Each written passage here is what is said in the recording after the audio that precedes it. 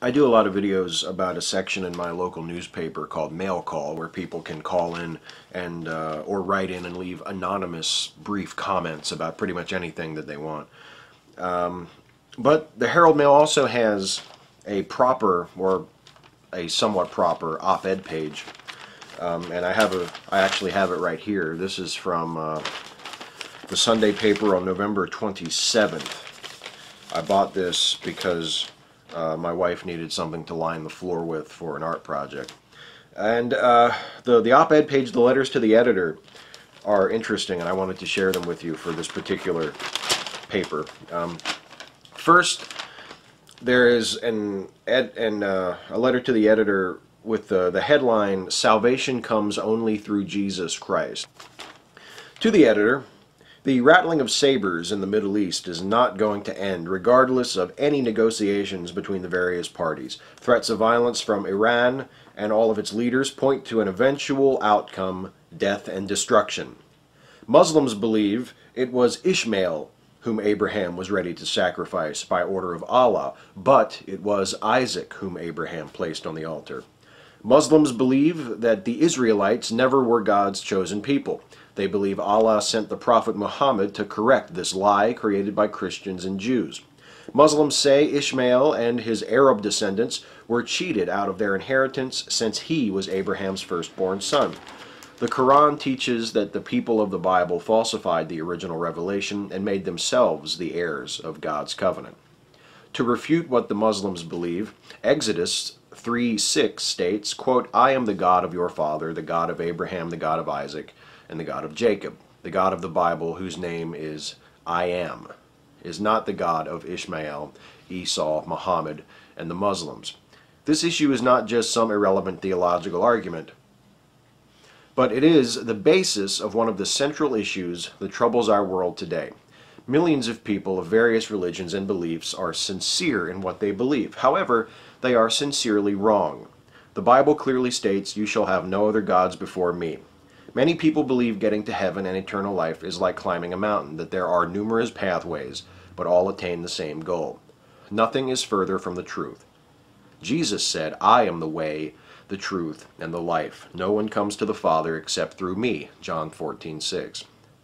Those seeking eternal life can only find it in confessing your sins to Jesus Christ, the Son of God, asking His forgiveness, turning your life around, and trusting in His saving grace.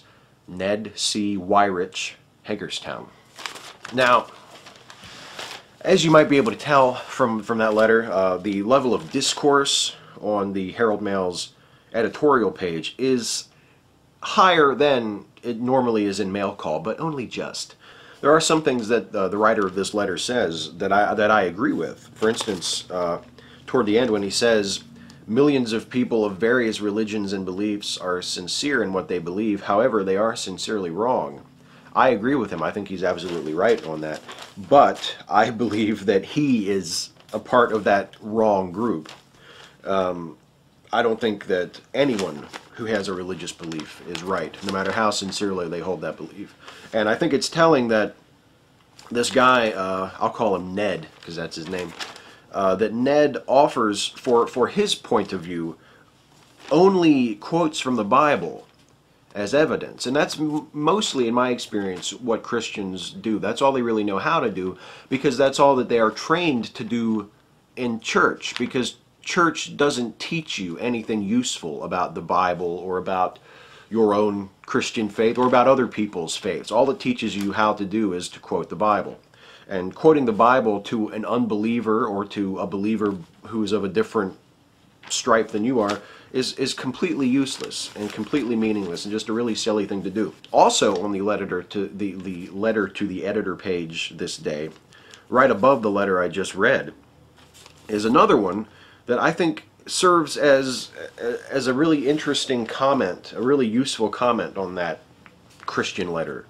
Um, it's on a completely different subject, but it um, displays a, a, an attitude and a way of approaching life that I don't think Ned, our Christian friend, really seems to possess. But I think it's a much more useful and a much more positive attitude about approaching life. And it's it's a lesson that maybe Ned could learn. And uh, this letter is headlined People Should Be Tolerant at Family Events.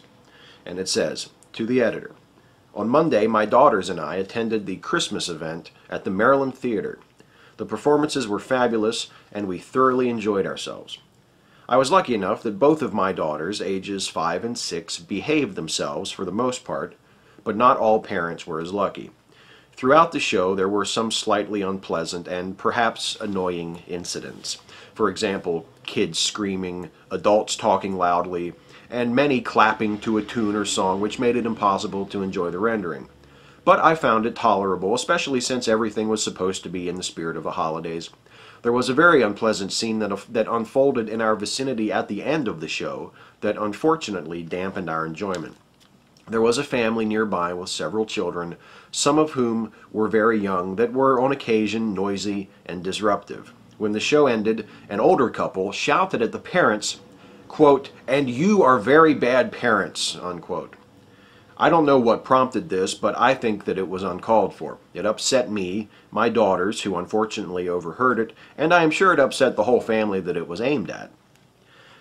As a single mom of two young ones, I totally understand that sometimes kids misbehave and that not everyone has the same ideas as to what is the appropriate way to discipline a child. So I have learned tolerance, especially at family events such as this. Especially with the holidays coming, I think it befits us to remember and understand that not all of us come from the same situation or circumstances in life, nor do we come from the same upbringing and culture. I think that we could use a little more tolerance and charity and a little less judgment. I have two mottos that I try to follow. If you don't have anything nice to say to someone, don't say it, and concentrate on the good. Happy holidays to all. Kostadinka Papaskov, Hagerstown. I don't agree with everything she says there. I, I personally don't really think that if you don't have anything nice to say to someone, don't say it is a very good motto. Um, I, I think it's important to be polite to people. I think it's important to be nice, but I, I don't think that you should never ever say a potentially unkind thing if it's something that needs to be said. But but just look at the contrast of these two letters. The first letter that I read uh, is all about religious demarcation. It's incredibly partisan and tribalistic, and it's all about my religion is right and those Muslims, their religion is wrong, and the only way that I know that I'm right and they're wrong is that my religion tells me I'm right. I mean, it's based on no evidence at all. It's it's not a, a reasonable, rational position.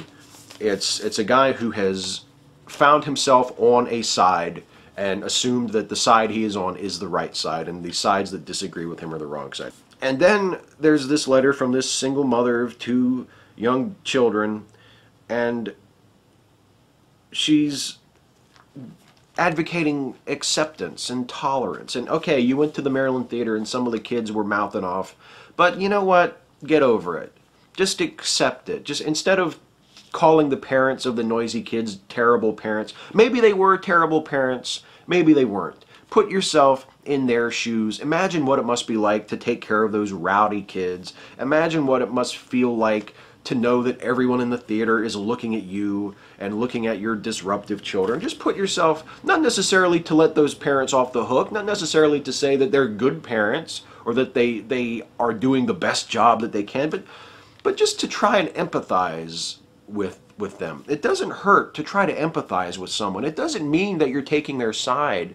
It doesn't mean that you're absolving them of any responsibility. It doesn't mean that you're arguing in their favor or that you're not irritated by what they're doing or their kids are doing. It just means that you can you can put yourself in their position and, and, and at least make an effort to understand them and to understand maybe why they do the things they do or or why their kids turned out the way they did or, or whatever. It just and I just I love the attitude of Kostadinka here and I wish that more people had that attitude. I mean, I do think that the the position that Ned has here and the argument that he takes to present his position of just quoting from his holy book uh, is a stupid position because I just don't think it's ever going to accomplish anything.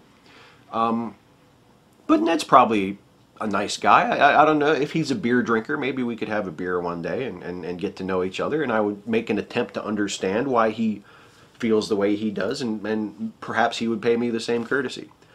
But I mean, it doesn't it doesn't hurt.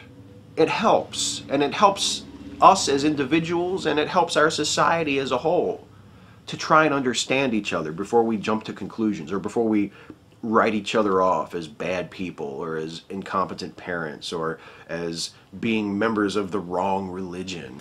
And I, I hope that, especially since it's, you know, here in the United States, it's the holidays. We've got Christmas and New Year's coming up. We're just off Thanksgiving. Everybody's in a much better mood, it seems, and we're, we're more open to the ideas of brotherhood and tolerance and charity and things like this. And, you know, maybe we can we we can make more of an effort to try and understand each other and to try and be more like the type of people Kostadinka would want us to be and less like Ned.